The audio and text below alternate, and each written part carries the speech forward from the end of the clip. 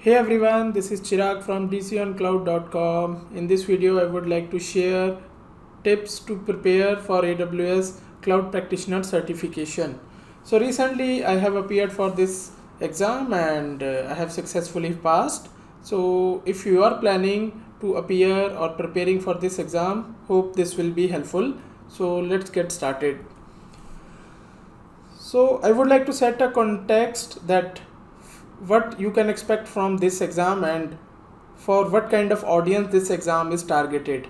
If you are new to cloud or you are trying to understand about the basics of AWS, then this exam covers that area and will give you that recognition. So regardless of your background, if you are experienced or if you are into some other uh, career vertical and you are planning to move into the IT and specific to AWS cloud. So this exam is a entry point to understand about the basic services how the architecture or where or what services can be used to build your infrastructure and application. And important part i found like if you are student and and you know planning to start your cloud career. So this is a good to have. So you can explore this exam. This exam consists of 65 question 90 minutes. And uh, for sure that 90 minutes is sufficient to clear for this uh, uh, clear for this exam. And big thing if you are into sales especially in the IT sales like me I am into the cloud sales. So very very good points are covered in this exam to understand from the sales angle. So if really really i highly recommend sales guys if you are planning to start your cloud pitch then just have a look on this exam. Try to understand the services how you can map it to the on premises infrastructure and how aws is building building their own ecosystem so this exam is for everyone. It's not specific that this kind of uh, vertical need to appear. Just know about that if really you want to focus on aws if you never played before on aws don't know or never played in the console don't know about how the building blocks of aws services have a look appear for this exam you will get an idea that what kind of questions are there because I believe this will set the foundation to appear for the next level of exam, let's say about the associate architect or developer or sysops. But this exam will for sure give you the AWS exam pattern. So key point to answer to figure out the uh, right option from the questions is to understand the requirement the questions will be not that much lengthy but there will be some scenario given and at the end of the question in the requirement it is uh, asked that you need to figure out what will be the minimum management way or some kind of lowest latency way or some cost effectiveness or fault tolerance. So try to understand the scenario and try to understand what question is asking so that keyword is the most important to map with your options and then you will easy to figure out that this will be the right option you need to go with.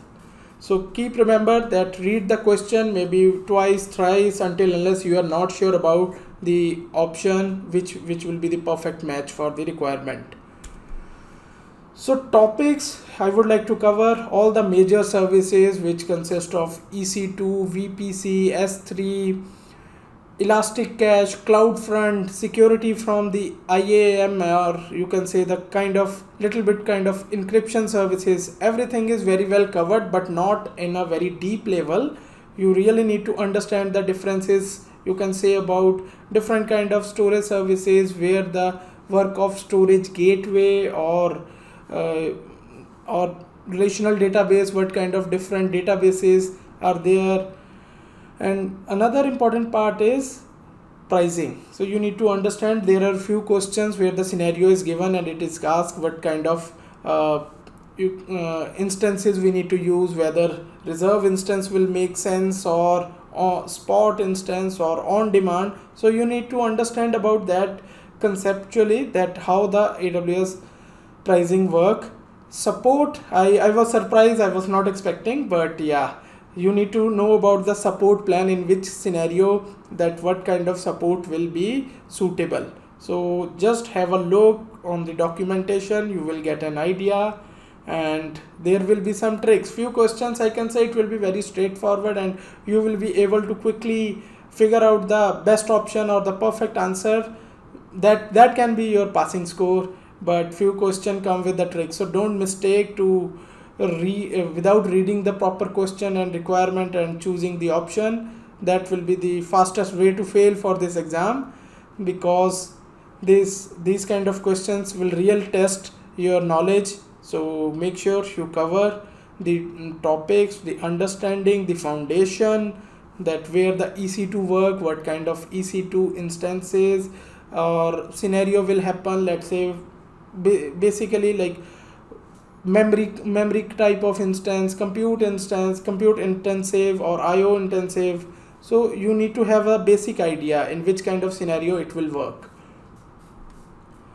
So the final thought is that that this is an entry level exam and if you are really want to understand about the aws certification pattern the question pattern so it is a good to go. So but don't expect that this will give you the uh, knowledge to build complex architecture because this is not the focus of this exam or not the focus audience for this exam. So but it will set a good base foundation what i feel for for the people who want to start or who want to switch or enter into the aws cloud as a career option. So best way to prepare for this exam that you can follow a lot of training on aws dot uh, aws dot training is available. So free courses are available. You can take your time set a target date let's say for next 5 to 6 weeks. You just try to understand the service create your own account focus to walk through the services let's say building the ec2 instance step by step.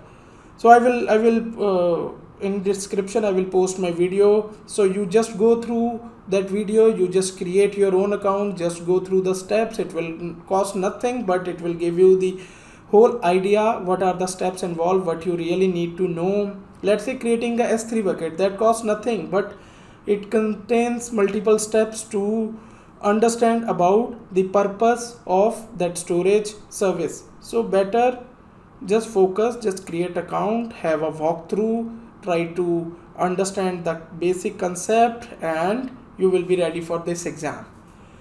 Thank you folks. If you have any suggestion please feel free to share. And please subscribe to my channel for more videos on the cloud computing